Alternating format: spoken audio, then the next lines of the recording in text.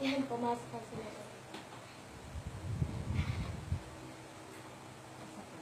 One, two, three, four.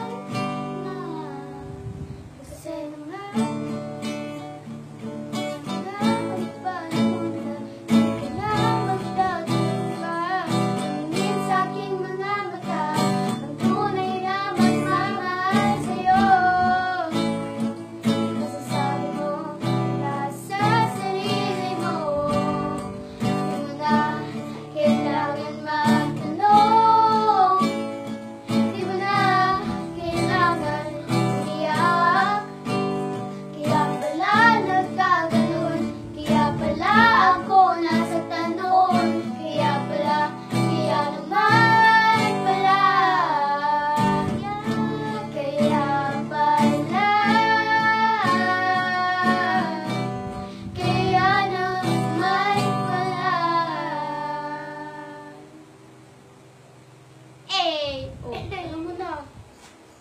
Kaya pala